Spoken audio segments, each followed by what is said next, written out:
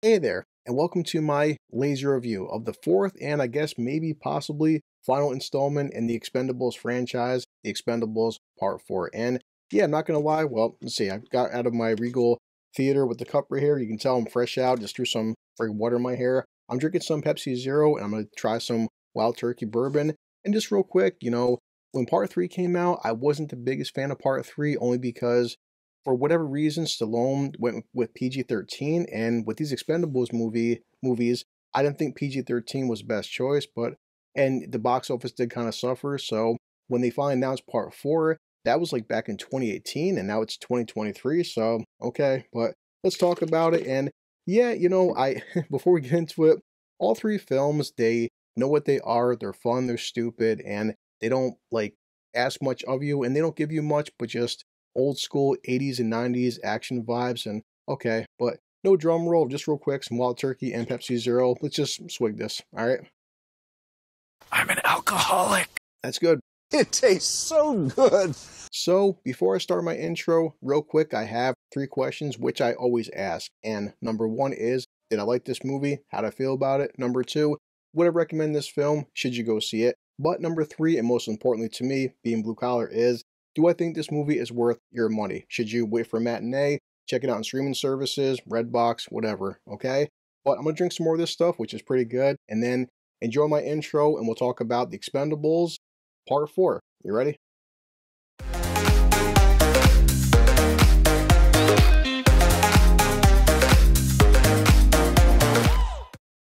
Good old Wild Turkey, my God, I'm drilling. So, Expendables Part 4 starts off, and no bullshit, the first 45 seconds is soothing action.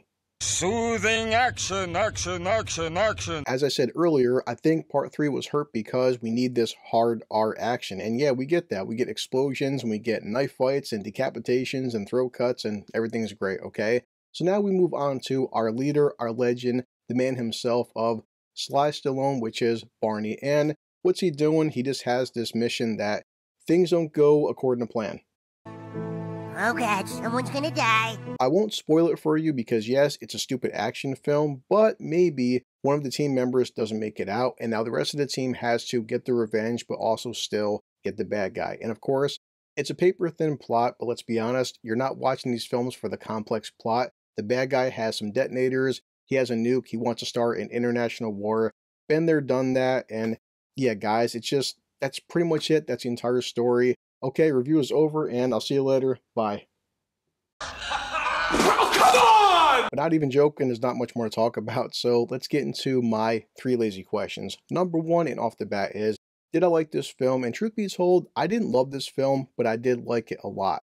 It was a lot better than part three, and yeah, the action is it is what it is. There were some scenes that had a little bit of green screen. I'm not sure why they did this for, but still, the fight choreography is freaking awesome. And of course, you have legends like Tony Jaa and the man himself, Statham. And Statham is freaking pushing 60, but the guy still moves like somebody who's half his age. So, yes, I did like this movie. Didn't love it, but it was a pretty good time. So, I had fun.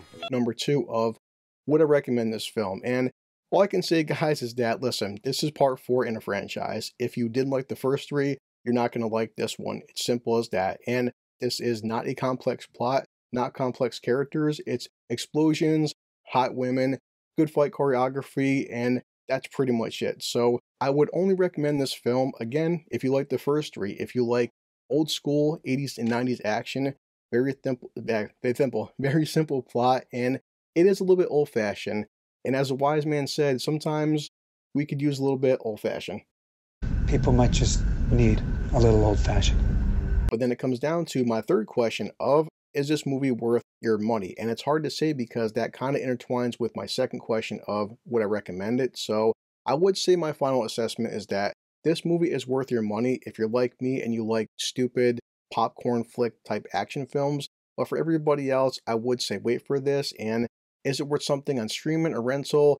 I think in terms of an action film, it's it's a very good rental, but I could see some people waiting for streaming and yeah, for a lot of people, I can see a lot of people not rushing out and seeing this in theaters. I mean, let's be honest, it's not as action packed and well developed as, say, John Wick 4, or not as well paced or well acted as, as say, Equalizer 3. So I mean, how am I going to rate this film? It just comes down to The Expendables Part 4 is a very good popcorn flick. And yeah, I just I have to give it a little bit more credit because Stallone knows what he's about. The guy is 75 years old, doesn't look it, and he's still in fantastic shape, but he lets a younger generation sit there and have the action scenes. But this is my main criticism going to this, which is why I'm saying hold off to rush out in theaters, is that this happens every time you have these ensemble casts. That if you look at the X Men films, everyone knows the main character is Hugh Jackman slash Wolverine. This being the Expendables and the trailers and the marketing said this whole new wave of new blood. Eh, honestly, the new characters of Megan Fox, which she's still gorgeous by the way. You have 50 Cent, you have, of course, the legend of Tony Jaa, you have Randy uh, Couture, Couture, and of course, Dolph Lundgren. The problem is, these guys don't do anything until the third act. And Jason Statham, the guy looks fantastic for his age. I still believe he could take on 10 guys. He can still hold up with the fight choreography. Awesome. But the main issue is that 95% of the action scenes are all Statham, which is, it's great. I mean, Statham can hold his own film, and he does. Statham can be a badass, and he is. But in terms of a team up film, well, what's the point of having the Expendables team if you have one guy doing all the fucking work? But it is a lot better than part three. I would highly recommend it over the third film. And you know what? If this is the final Expendables film, this is a pretty good send off to these characters, and I enjoyed it for what it is, okay? That's that's all I can say. As I always do, I'm going to check my friggin' watch because I'm always low on time. I'm going to edit this and finish this drink and then grab Bender for you guys. I'll see you later. Let's go. This calls for a drink. Oh yeah, catchphrase. It's called a catchphrase. I'll see you later because I'm heading back to work.